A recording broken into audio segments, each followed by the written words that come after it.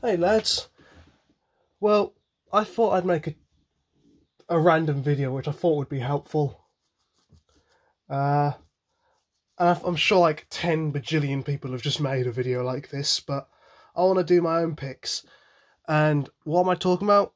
You, you read the title of the video, so cliche, whatever. uh, here's my picks of uh, servicing tools. Well, servicing and restoration tools. No particular order, just whatever I've got in my little bag of tools and stuff, and what I think would be useful that I don't think other people have talked about. Now, lubrication. This is an oiler pen, which is out of frame. There it is. It's a cheap one I got on eBay, and I think actually the listing I got because I was trying to find the cheapest. Uh, I got two. This one, I, I they were both contain the same oil or whatever, but this one, what? No, this one had the same oil as this. I don't know what type of oil it was. It was very an ominous listing because like it was the only thing that the person was selling, and I was a bit worried that I was just getting my three pound fifty stolen, and I'd never get any oilers. But this one ran out first, and I fit it. I filled it with a three in one oil, now that's good for old locos and maybe some like what 2000s engines. But modern day engines, eh, it's a bit too dirty and greasy for them. Because I don't really want to imagine having a bunch of like three in one oil chucked into a modern uh, loco, into like an Accurascale night class 92. Hey, that's a modern uh, model I've just referenced means my video is relevant. um, but I think a cleaner version you could use is like Singer sewing machine oil. I haven't got any, but I've heard it's like pretty good. It's pretty clean, more clean than like uh, three in one oil. Which I've got a bottle of it here, which I just keep at home because it's a bit too big to fit in the uh, the bag, and this is just a traveller size, I'll say. But you don't need to have an oiler pen you could have like a little pot of oil and like something like I don't know a uh, oh like a bit of wire on something that's ergonomic. This isn't ergonomic. This is like for my fingertips and it really hurts. You can't really see it actually. There we go. But that you just need a tiny bit of oil on the end just to put into the bearings and the crank pins and stuff so no wear could happen. Uh, but yeah, any oil, I guess, really works. There's lots of different types of uh, loco oil. Um, there's like thick stuff for like gears. There's uh, stuff that could go through electrical current for like if you've got pickups for the bearings. I don't know how that works. It's a bit daft to me. Why can't it just have wiper blades? And uh, there's just like normal sewing machine oil that you could just get for cheap on eBay. I think if you search for an oiler pen that's like what? Just search for oiler pen, no Model Railway tags. Usually they come up underneath like the watch maintenance, like watches. You remember watches back in that day. um, they usually come up for like what, three quid under the watch name? Uh, category? I don't know.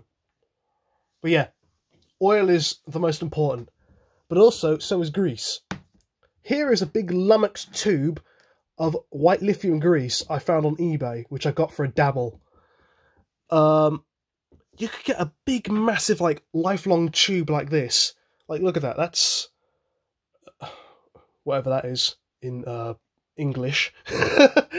uh, for like a tenner. I think I got. I found a specific listing for like seven quid, but then they just charged it up to like ten quid. But yeah, a big tube like this is really good, and white lithium grease, I, I believe, is the best grease you can get for a loco. It just sticks to the gears and it doesn't fling off anywhere. Like a good amount in a pinion and a, a, worm gear and a pinion gear or whatever. Just like it quiets it down, especially like an old XO4, XO3, whatever motor. Like this B12 used to be absolutely rattly, but because I think it's got an XO3 motor because it's got like the plastic gears or whatever. Um, yeah, some white lithium grease on there and onto the worm and let that bed in, and I think some oil as well. It just runs so nicely, so quietly. It actually sounds like the later M type motor, I think. But of course, it's an old XO4, and I like XO4s because they're very mechanical. And uh, imagine building a motor that's actually not disposable, and they go for like stupid money on eBay. But yeah, I highly recommend this grease, and if you can find it on eBay, I mean, you can. It's like what 60 million listings of this. It's a tenner, guys. Get it? It's better than paying like what five quid for a little tiny little makeup pot of half decent waxy grease. I'm just making up insults and excuses because I've never tried it, but this lasts. Like I think I've only used about that much so far, and I've still got a big chunk of some. Oh, why did I stroke it like that? why did I stroke it? I've got like a big chunk of amount still stuck in here. That's gonna last me till I get grey hairs. Uh, but when you get too much grease on your wheels and and your pickups because you've been a bit numpty and you've absolutely dipped it in a bath of oil and grease, you're going to need something to clean it with. IPA. This I found in my local auto shop that I don't really check into because it's on an awkward side of the road, and I just think, uh, I don't really bother. But I'm glad I did actually bother because using this cleans. This is meant to clean your wheels, your pickups, and anything electrical because, of course, it's an electrical cleaner, as you could tell. Pure alcohol for cleaning optical and electronic equipment. Um, a bit of that on a cotton bud, uh, running the model, just clean, just like clean the wheel while it's turning over, is just brilliant. It's also good for cleaning up uh, commutators on old motors and the brushes too. So, because you can actually uh, give them maintenance. Oh yeah, I should actually say, oil. Uh, put that in your bearings, like your motor bearings. Actually, just a dab of oil in your motor bearings, uh, your wheel bearings, axle bearings, even in coach and wagon bearings. Yes, those need oil and actually a bit of grease too, like just a little dab of grease on each of the pinpoint axle. Runs smoothly and stops your drag and all that nonsense. You can put a bit on coupling hooks too, like on old uh, Triang couplings. Actually, lets the arm of the the hook of the coupling to raise up rather than get stuck, and then you have to go around the whole layout backwards trying to couple up to it, but it's refusing or whatever. But yeah, that to clean up your commutators and your electrical components. That's good. But also, I think as well, a bit of contact cleaner. This I also got from the auto shop. It's very good. Um, I think I'd recommend doing it outside, but I think you can do it indoors in a well ventilated space. It evaporates quickly, uh, cleans. It, it does the same as IPA, but like with a blast, like a WD 40 blast, but don't use WD 40, of course. It just cleans all the muck and grease off of like old wheels and uh, and actually frees up gummed up chassis because I had a Triang Princess chassis that I think I showed in my last video that was absolutely gummed up and a squirt of this as a test it ran so freely of course with a bit more oil it ran absolutely perfect and I was so pleased. But this is safe for motors like old motors again if you're going to service them dip the brushes in like a little canister of this and let it just like or do it like the double O bill way and just like absolutely shake it and then uh, let it soak in.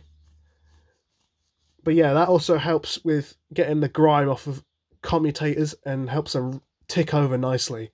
You don't need anything abrasive like a fiberglass pencil because what I've learned is that attracts more dirt with the micro scratches into the into the metal. Which actually brings me on to my next thing. Uh, where is it? Fiberglass pencil. This I recommend to people who are a bit more experienced, not for, well, I wouldn't really exp- um, recommended to everyone because it's fiberglass and these little fibers break off when of course when you're like trying to clean something and if you don't have like a paper towel or you're wearing like rubber gloves and clean up your surface afterwards. They get everywhere and they jab on your fingers. I remember servicing a lot of old engines like all at once and i used this to clean off all the hardened crap that i couldn't get with a any of the ipa or whatever. Um this just jabbed into my fingers and it was so uncomfortable trying to sit here plucking them out with a pair of fine tweezers. This is good for cleaning off like uh, corrosion, I suppose, and dirt. I usually use it to clean off corrosion and like wear on uh, Lima uh, pickup spring things. Like on the pick on the diesels, they've got like this pickup spring that goes to like the non-powered bogie just to shine up a bit. That's all I really use it for these days because it's just a pain in my fingers and it's not very comfortable. And it makes a mess too. Just a fiberglass mess all over your desk if you haven't got like a paper towel. Uh, what else? I mentioned. Oh, is there anything I could actually talk about, like power and all that? Cotton buds. I don't think I need to really explain because I already did. Like these are good. Look, this one's even had like what a mile put into it. It's still got a few miles left on the other end, but yeah, this is good for just putting some IPA on it and then running over the wheels and cleaning them. And there you go, cleans your wheels. You could also use some cotton pads. I I sometimes use these for cleaning the wheels as well. Gets a bit more dirt off, and these last a bit longer because there's more cotton on there, of course. And I think you could try and clean the track with it if you cover it in like what contact cleaner and just go over the rails. I don't know. I never really tried it. Um, as for powering up your engines, I usually use like an old controller to turn them over. I actually use that crappy Hornby silver box that uh, has a, a fit every time it wants to like it overloads and just like you know you have to wait like five working days for it to stop to actually get over its blooming trip and it's short circuit or whatever. But also, if you need to be like mobile somewhere, because I don't think you really want to carry control everywhere, a 9 volt battery. It's good to just put it against the wheel terminals and just let it or the motor tick over and see if it's working without having to set up a your layout or set up a controller. Like it's a bit more wasteful because when it runs flat after like going through a model that charges, well, it takes up so much power. Um, yeah, just takes so much power. It just like it runs flat and it goes in the recycling, but it's good. It's very good. I don't think my sentence even made any sense.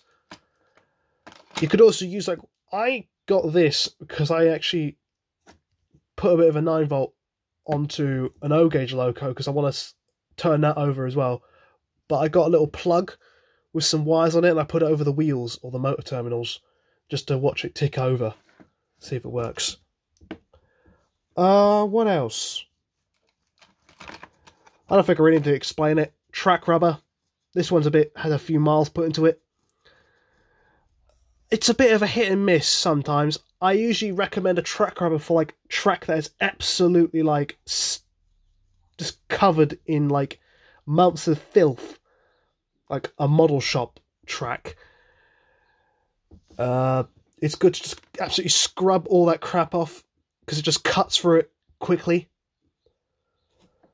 But yeah, it's a bit of hit and miss sometimes with a track rubber. What else? screwdrivers. Now here's my lucky little like knockoff Meccano crosshead I use because it's very ergonomic and it gives me not a grip with this uh, head here. Oh, there we go, focused. And the actual end fits in a lot of screws that I have to use it on. So this is good. If you've got a nice screwdriver, you can get a lot of grip on. You could use a screwdriver set as well, but whatever works for you, I guess. Speaking of, I got one right here. I found this somewhere. I really can't remember where I found it in the uh, probably in the garage or something. But it's just a cheap little set. Th- these are good, but they haven't got enough like ergonomic grip for you to actually put some torque into like a certain screw, where you just end up slipping on this metal uh, handle. I also got a flathead as well, but I think you already know what that looks like. pair of tweezers, especially very fine, pointy ones like this. These are really good. I use these for decals or transfers or picking up tiny pieces of, well, detail or I suppose I use it for holding in brushes when I put them back into a motor or tiny screws. But yeah, something fine and pointed like this just to hold onto something while you're servicing it or working on it. These are good. Also, we're servicing a side rod spanner of some sort. Now, I know Expo Tools does like a big tool set for like 20 quid, but I haven't got that. So I got this little Hornby one, which usually does like Hornby nuts and uh, crank pins on their models. It's got two different sized ends. Sometimes these work on other models if you're lucky, if it fits in the same like diameter of the holes. But I think the cheapest I've seen these go for was like three quid at the Great Electric Train Show. These usually retail for like what seven quid. But these are good tools. But I think I would recommend getting the Expo Tools one because it comes with more, you know, with more uh, sizes, and it's got a better ergonomic grip. Uh, what else? Of course, super glue. If you need to glue like a piece of detail that's fallen out, just a little dab of this, either from the bottle on the little nozzle or on the end of a paper clip. It's good to just like dab it in with a bit of glue and then glue your detail on that you need to repair or something like that. What else have I got in here? Permanent markers. They're good for, well, if you need to mark something on a layout or on a part or a loco or such. I think it's really self-explanatory what they do. Ah. Electrical tape is good for insulating on motors. I, I talk about a lot of motors or stuff, but like it, you know, it's useful. This is good for if you need to isolate something like, I don't know, the motor on a white metal kit loco, because one of the terminals is touching the white metal body and it's shorting out the whole thing. Put this inside of the loco body, like a, a strip of this, or you could paint the inside of the body maybe, or just put this over the top of the motor, which keeps shorting out. Uh, job's a good one. An old toothbrush. This helps out to clear off any dirt and fluff on loco wheels, bodies, uh, and other pieces. Works well dry, but also wet with like, if you give it a, a loco body a bath in some, uh, well, warm water with a bit of fairy liquid on the end of this and just scrub the body and let it dry, gives it an absolutely satisfying clean. Baby wipes do work if you want to be a bit more delicate with the body, but that takes ages and sometimes it doesn't really clean it well and it leaves water streaks everywhere. And it's just, it's good, I prefer this, even if it does take off decals and stuff on some models because they've rotted away. Um, what else? Pencils. Again, that's the same with pens. If you need that to mark something. Ah, it's kind of the same as the toothbrush, but a dusting, a makeup brush thing. This nice fluffy one I got, this really helps dusting off bodies on uh, locos, and it's nice and soft, so it's not going to affect the paintwork, of course. And honestly, looking through my box tools, other than the stuff I've just said, ah, no, one more thing. Something magnetic.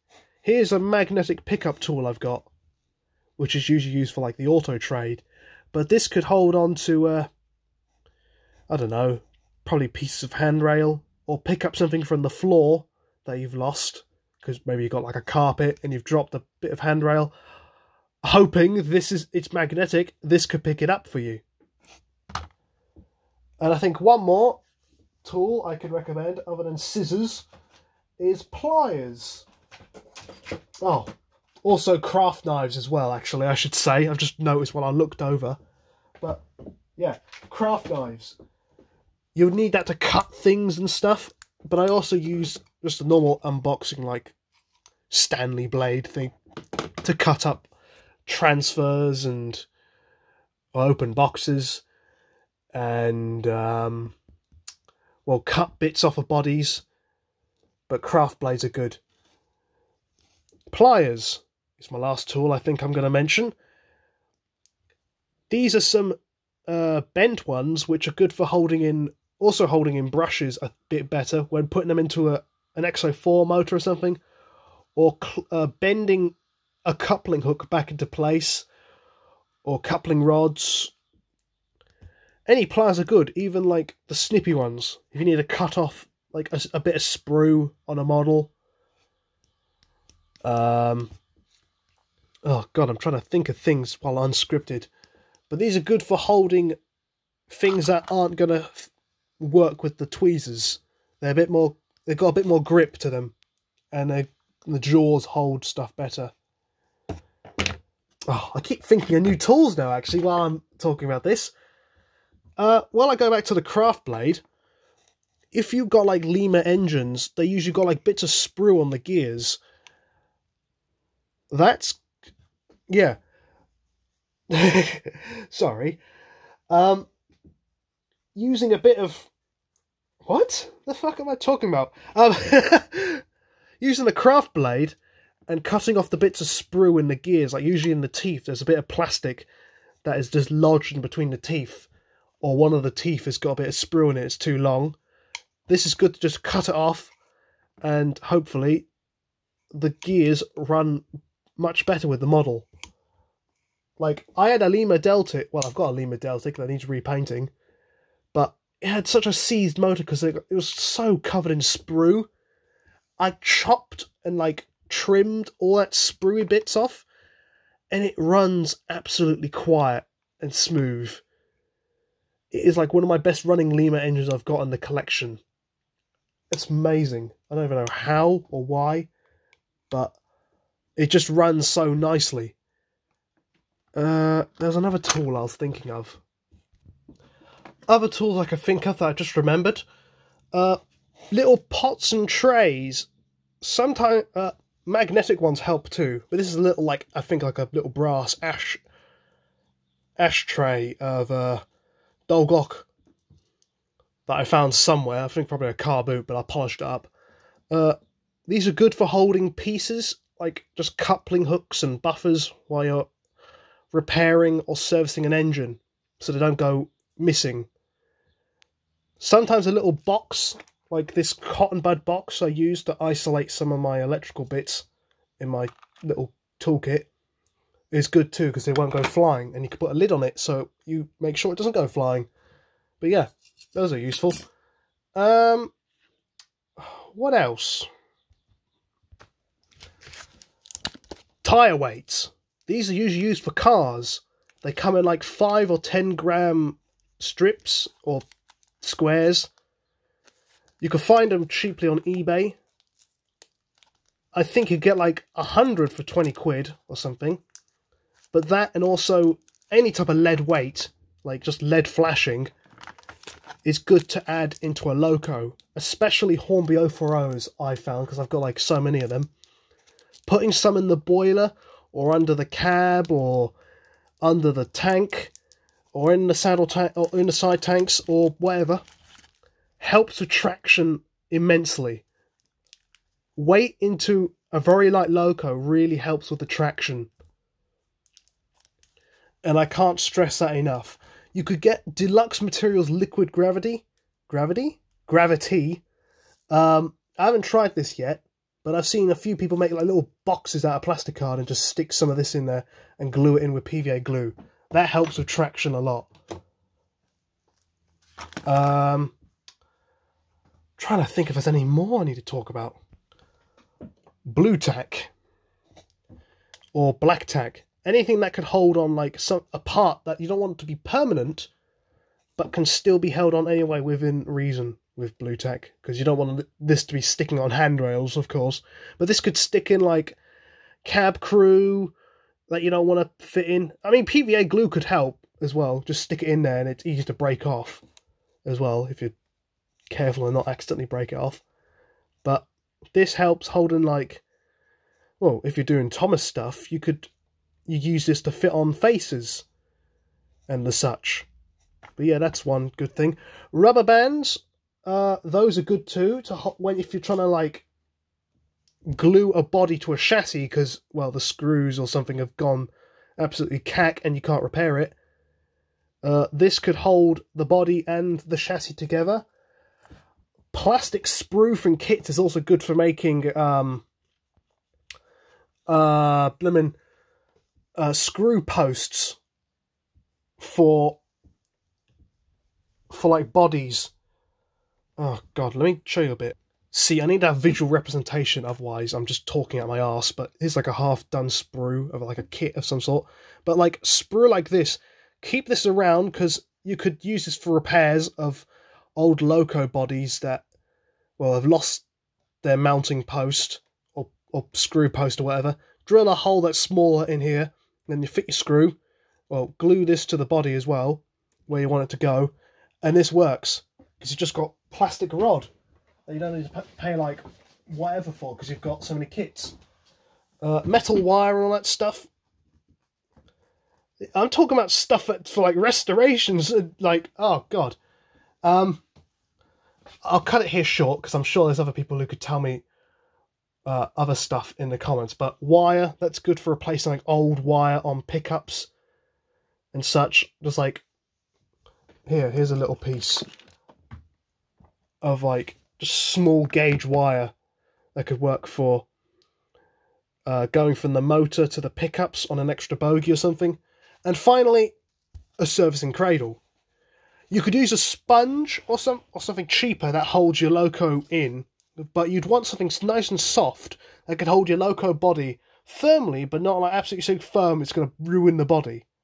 I've seen so many people just jab the bloomin' bodies against a hard table while trying to open it up, and it's so uncomfortable because you just know it's going to break at some point. The loco, not the table, or it's going to damage the paintwork. Get a nice cradle, or make one out of a sponge, like get a foam cutter or something, and or some foam, yeah, a bit of foam. Build a little cradle in a box, and just hold your loco bodies in here or your chassis, and jobs are good. And you don't need to jab it against the table and hold it up like a idiot. You, you only got two hands, mate. Just use some initiative or whatever. Right, I've been going on for half an hour talking about servicing tools and how to rest, restore locos, and look at all this junk I put on the table. So I hope this has been helpful, and hopefully some people in the comments will try and correct me on stuff I've been wrong about. Uh, but I think I've mentioned everything that I could think of for restoring or servicing locos. So, with that, thank you for watching. I'll see you in the next video, I suppose. Yippee!